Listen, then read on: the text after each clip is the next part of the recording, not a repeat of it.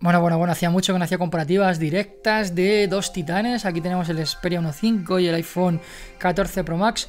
Pero si queréis una comparativa directa de fotografía y también vídeo, tenéis que dar al me gusta, mucho amor a este vídeo. Bueno, venga, que yo estas cosas no las pido nunca. Vamos a hacer que me ha sorprendido que Sony Xperia 1.5 tuviera modo cine o modo bokeh, profundidad de campo, difuminar el fondo, como lo queráis llamar, en su Xperia 1.5. Os voy a enseñar cómo funciona y una comparativa directa contra el modo cine del iPhone 14 Pro Max. Eso sí, tened piedad, porque no he usado el modo cine como tal, simplemente estoy utilizando para que veáis la profundidad de campo y cómo se comporta con diferentes exposiciones. Que quede claro. ¡Vamos a ello! Contraste, contraste, contraste. Venga, ya en serio.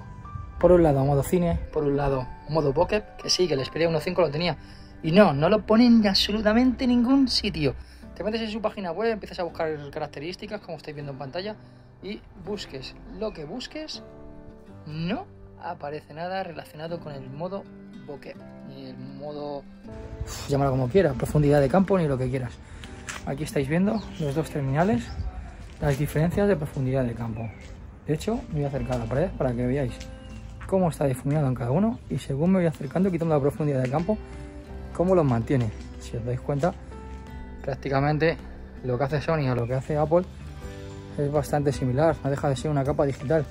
Y si jugamos con diferentes luces, Sony tiende a quemar. iPhone lo controla algo mejor, pero es que los colores de Sony son muchos colores. ¿Y qué tal estabilización? Pues también lo veis.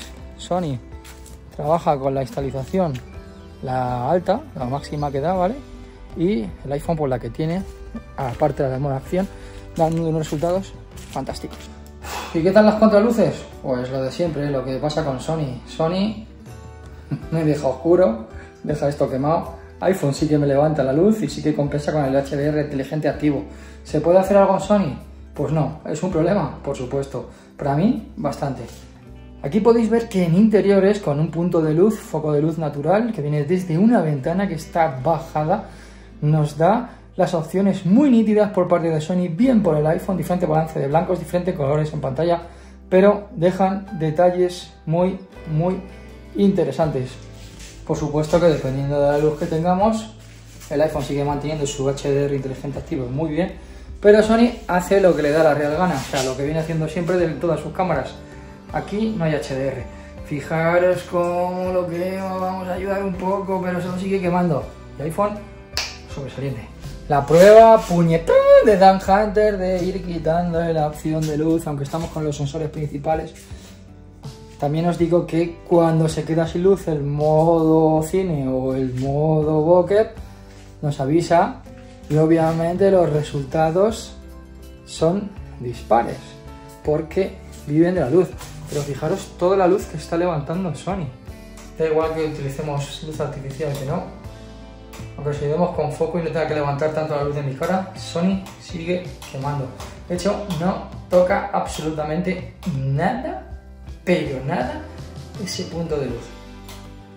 Aquí la estabilización en diferentes puntos de luz, como van cambiando según vamos avanzando y van dejando estos pequeños detalles.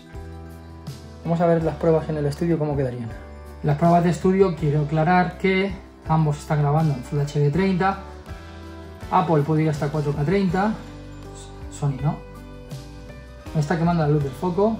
El iPhone lo suele mantener bastante bien. Fijaos la profundidad del campo, cómo va haciéndola por capas, va separando de la manera que más precisa puede. En este aspecto los dos trabajan bastante parecidos, ¿vale? No me podía decantar por ninguno. ¿Qué tal con objetos? Pues opinad vosotros mismos. Lo hace el iPhone más realista. Tiene que decidir qué capas usar, pero lo hace más realista. El problema de las contraluces queda patente. Fijaros cómo iPhone levanta. Sony lo deja totalmente dando la prioridad a la exposición del exterior. ¿Y qué pasa si les llevamos a ambos a la máxima profundidad de campo? Apple marca un F2.0, Sony marca simplemente una línea donde te indica el máximo o el mínimo. Pues estos son los resultados de la máxima profundidad de campo, que están bien, pero Sony sigue quemando, Apple lo hace bastante bien. Son siempre detalles. Detalles que pueden marcar la diferencia, por qué elegir si nos decantáramos utilizar profundidad de campo en nuestros vídeos y quisiéramos el que mejor lo hiciera. Y yo me tiro para aquel. Pues qué puedo decir de estas bestias de la naturaleza que no se sepa. Sony marca unos patrones de color muy buenos. El enfoque, como siempre, lo controla muy bien. Hay que controlar mucho también porque difumina el fondo. No lo hacen mal, pero Sony tiene un problema de serie que lleva arrastrando siempre, que arrastra con su fotografía tradicional y en tiempos de inteligencia artificial con HDR, pues qué menos que la utilices. No la está usando, ya habéis visto que siempre que haya fondos, los quema. Siempre que haya un contraste muy grande, si se tira para el fondo, tú te quedas oscuro. Así que nunca jamás si vas a decantarte para un móvil para utilizarle para YouTube y quieres profundidad de campo, vas a utilizar sus modos cines, modo bokeh o lo que quieras, Sony no es tu equipo. Primero porque graba en Full HD 30, ¿vale? El iPhone ya de por sí te da 4K 30. Y segundo porque vamos a tener problemas, problemas serios con la luz. Como vayamos a bloguear por ahí, nos va a quemar mucho y va a dejar circunstancias que no nos gusta ni a ti ni a mí, y lo sabes. Así que con esa recomendación os lo dejo dicho. Aún así, me ha gustado mucho lo que puede llegar a ser y lo que se puede llegar a controlar de él para sopesar esos temas de lo que son las exposiciones quemadas. Y ya os adelanto que un próximo vídeo va a ser el modo bokeh, el modo retrato con todas las lentes del Xperia 1.5. Y así que os hago un super spoiler. Creo que puede ser el mejor modo retrato de la historia. Pero para eso tendrás que verlo en Hunter. Venga, hasta pronto.